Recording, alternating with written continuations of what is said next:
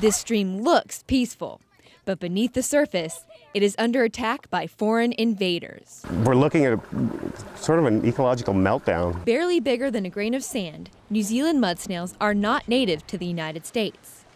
That means their population can easily get out of control. They reproduce with gusto.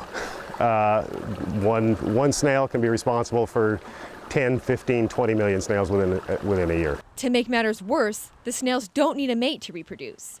They're basically born pregnant. You can squish them and they just shoot out little, more little snails. Large populations of snails take food from other insects and destroy the natural balance of the stream.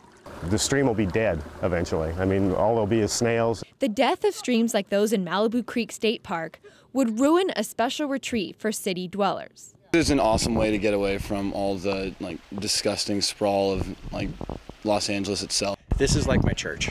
I come out four times a week. Hikers are one of the ways the snail is spread to new areas. They can be picked up with the mud on hikers' boots.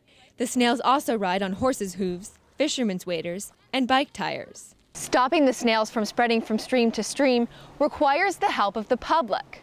But most people don't know about the problem. I've never heard of it. never heard of what are they called again?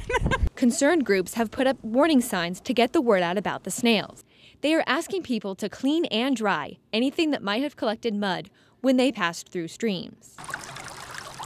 Scientists are still working on a way to permanently get rid of the snails. I don't see them going away anywhere anytime soon. It's just a matter now of trying to control their spread. Limiting the spread of these tiny invaders will help preserve precious natural areas for the future. Cassie Richardson, Annenberg TV News.